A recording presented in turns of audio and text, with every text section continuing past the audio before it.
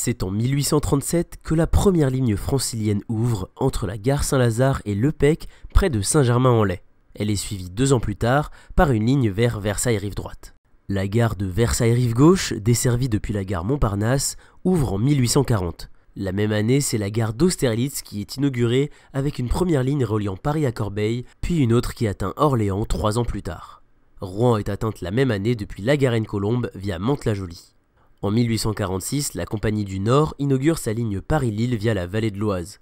La ligne de Sceaux, construite à écartement large avec un système particulier nommé système Arnoux, est inaugurée à la gare de Paris d'Enfer, d'Enfer Rochereau aujourd'hui. Peu après, la première ligne francilienne atteint Saint-Germain-en-Laye. En 1848, le sud-est de l'île de France voit s'ouvrir la ligne de Troyes à Montreux.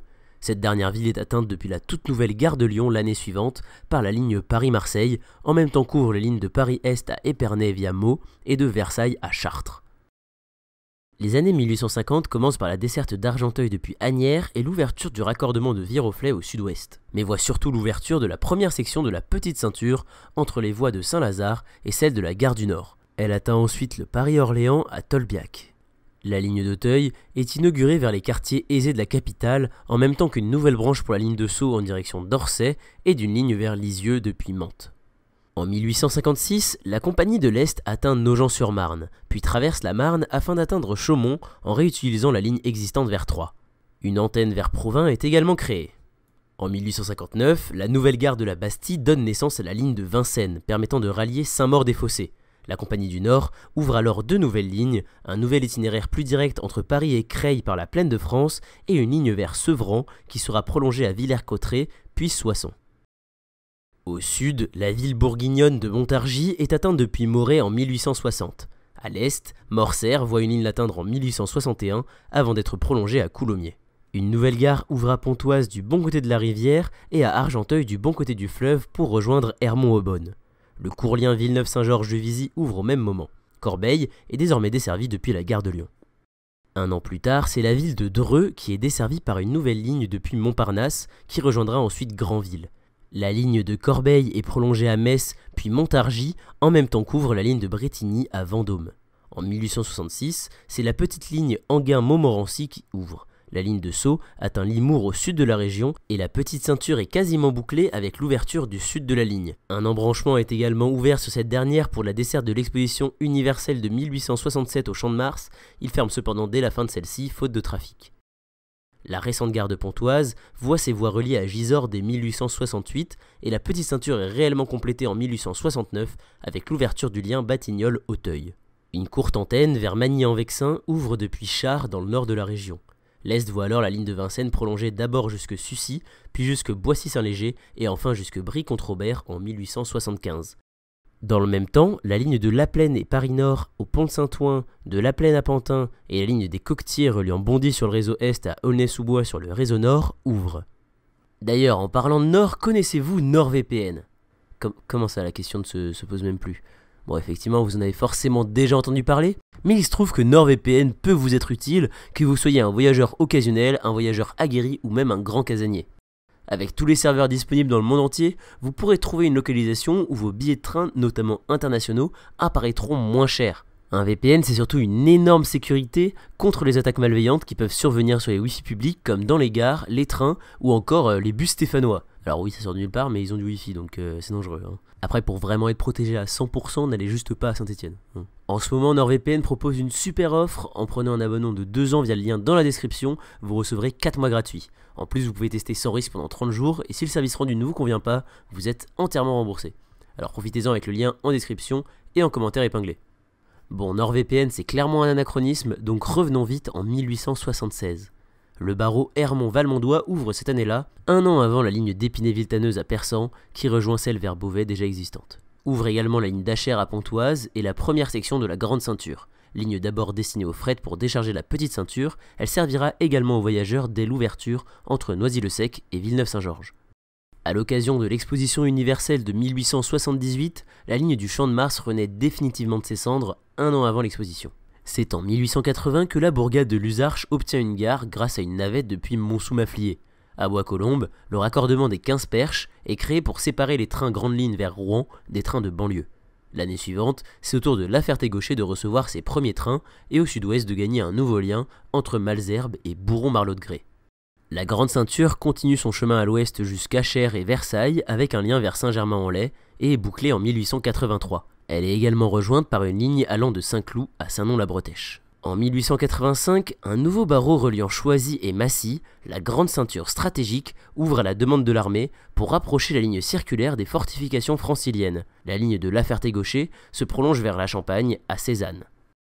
Encore une fois, une exposition universelle va amener à la création d'une ligne. La ligne des Moulineaux, qui relie Puteaux au Champ de Mars en longeant la Seine, permettra de desservir l'exposition de 1889 qui verra l'ouverture de la Tour Eiffel. 1892 marque l'inauguration de la ligne de la rive droite de la Seine reliant Argenteuil à Mantes.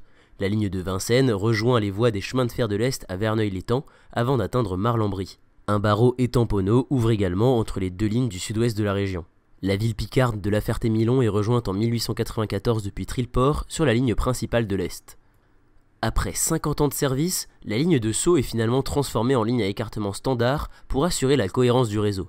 Dès 1893, le tracé d'Anceau est rectifié pour pouvoir accueillir des trains classiques. Ces derniers arriveront en 1895 lorsque la reconstruction de la ligne s'achève. Elle est à l'occasion prolongée en souterrain jusqu'à la gare du Luxembourg. La ligne de Corbeil à Montreux, qui multiplie aujourd'hui les gares très peu fréquentées, ouvre en 1897 pour doubler l'itinéraire de la ligne principale Paris-Lyon. L'année suivante est inaugurée une petite antenne pour desservir le champ de courses de Maison Lafitte, les courses hippiques ayant un fort succès à l'époque. La dernière année du 19e siècle est marquée par l'inauguration d'un nouveau barreau Plaisir Épône à l'ouest de la région, mais surtout, encore une fois, par une exposition universelle. Pour celle-ci, l'antenne de la Petite Ceinture vers le Champ de Mars est prolongée à la nouvelle gare des Invalides, avec également l'ouverture du raccord de Boulainvilliers permettant de la rejoindre depuis Saint-Lazare et l'ouest de Paris. La gare d'Orsay est également inaugurée en prolongement de celle d'Austerlitz. Le XXe siècle s'ouvre sur la mise en service du raccord ici plaine viroflay permettant une desserte complète du réseau de l'Ouest depuis les Invalides. Deux lignes ouvrent également à l'Est, l'antenne Esbly-Crécy-la-Chapelle, ainsi que la ligne Provins-Esternay, rejoignant l'autre ligne de la zone. Une troisième ligne ouvre à Étampes, en direction de l'Est, vers Beaune-la-Rolande en 1905. Trois ans plus tard, la ligne de Saint-Ouen est prolongée jusque Hermont et forme une boucle à l'arrivée permettant de repartir dans l'autre sens sans manœuvre. Au nord de la région, Char voit ajouter une nouvelle antenne vers la ville de Marine en 1911. La toute première fermeture du réseau ferroviaire francilien intervient à l'aube de la Première Guerre mondiale avec la fermeture au trafic du raccordement de Boulainvilliers. Il rouvrira brièvement de 1919 à 1924 avant de sombrer pour de nombreuses années. Le rythme d'ouverture de lignes ralentit alors fortement, laissant place à de nombreuses fermetures. Des lignes naissent tout de même, et ce malgré le conflit, comme la ligne de Paris à Chartres via Galardon, ouverte entre Chartres et Saint-Arnaud-en-Yvelines en 1917. Quatre ans plus tard, elle atteint difficilement Rochefort en Yvelines, puis Limours en 1922.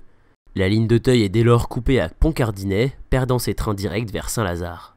Une autre ligne sort de terre en 1924 entre Bobigny et Sucy-en-Brie. Elle double l'itinéraire initial de la Grande Ceinture pour le trafic fret. Elle sera d'ailleurs réservée à cet unique trafic jusqu'en 1932 où des gares de voyageurs seront ajoutées. En 1925, la boucle de Sanois est abandonnée. Cinq ans plus tard, la ligne de Chartres à Paris via Galardon atteint enfin Massy, puis Châtenay-Malabry l'année suivante. C'est également au cours des années 30 que la petite ceinture fermera au trafic voyageur, sauf pour la ligne d'Auteuil. Un an plus tard, ligne de la Plaine à Pantin qui ferme à son tour, suivie par le raccord entre Saint-Germain-en-Laye et la Grande Ceinture, et la ligne Malzerbe-Bourron-Marlotte. C'est cependant la déclaration de guerre de 39 qui portera un coup fatal à de nombreuses lignes.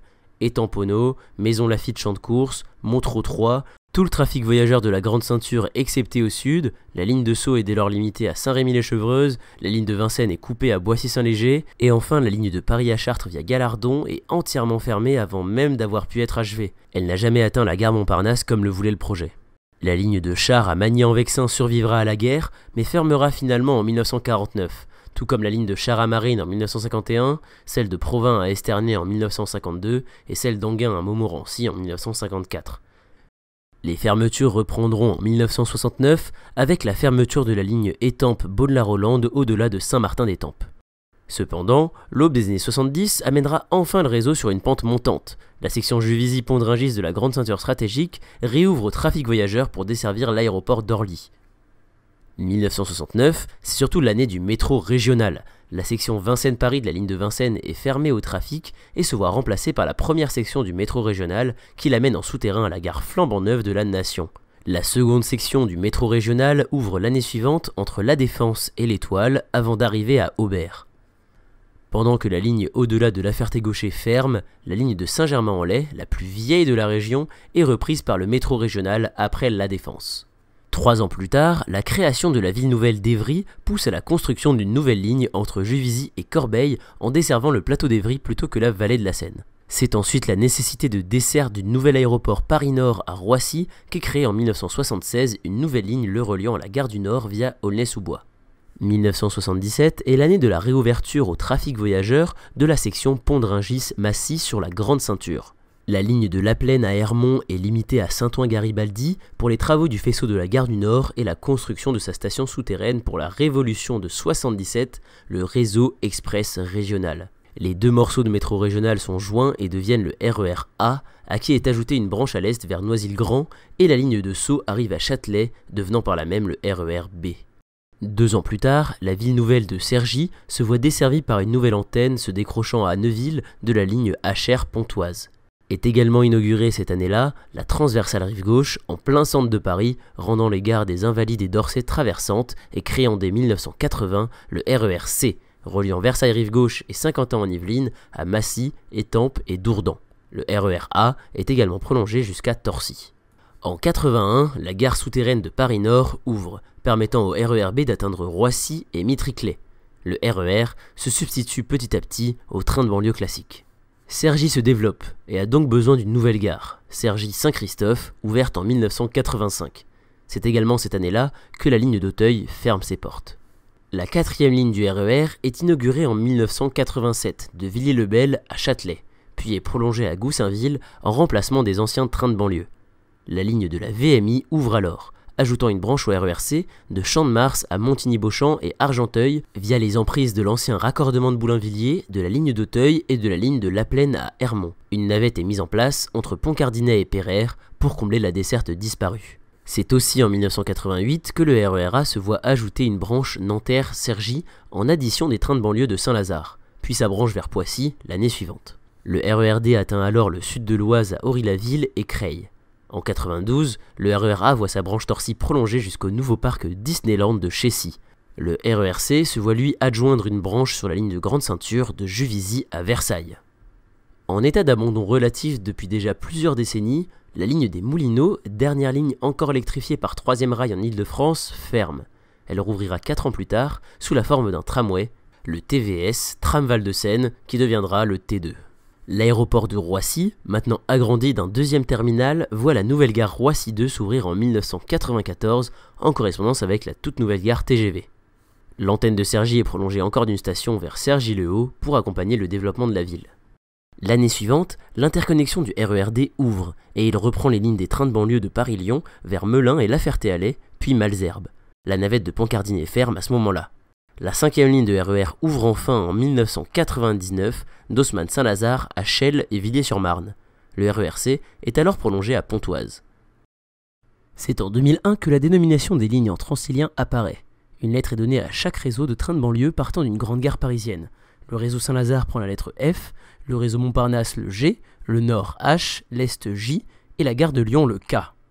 Une année plus tard, la ligne J à l'est perd déjà un morceau avec la fermeture de la section Coulommiers-La Ferté-Gaucher, et en 2003 c'est au tour de la ligne des Coquetiers de fermer pour être transformée en tram-train.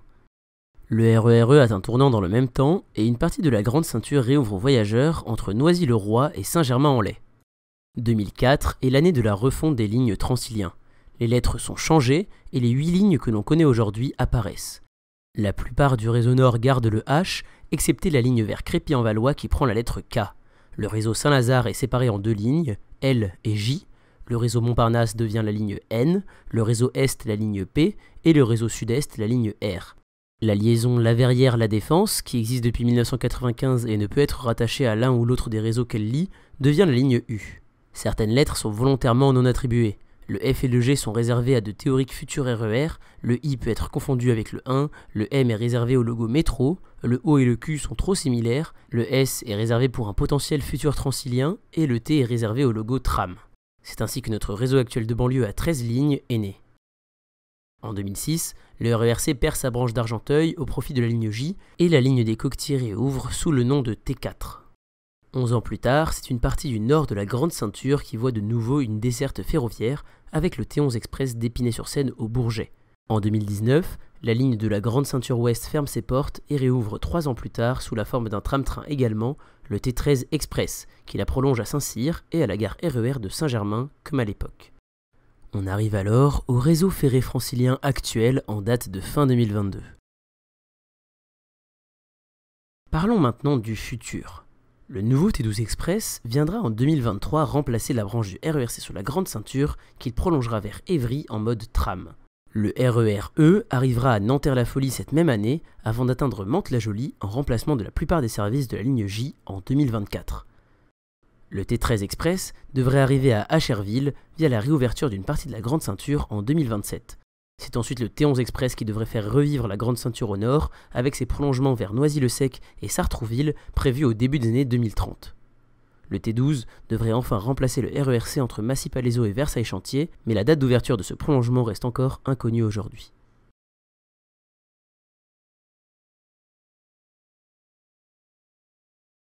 Merci beaucoup d'avoir suivi jusqu'au bout cette vidéo, ça m'a vraiment pris un temps fou à faire. Si vous le souhaitez, vous pouvez me soutenir financièrement sur Utip. N'hésitez pas à vous abonner à la chaîne YouTube, à mon compte Twitter et à mon compte Instagram. Et à la prochaine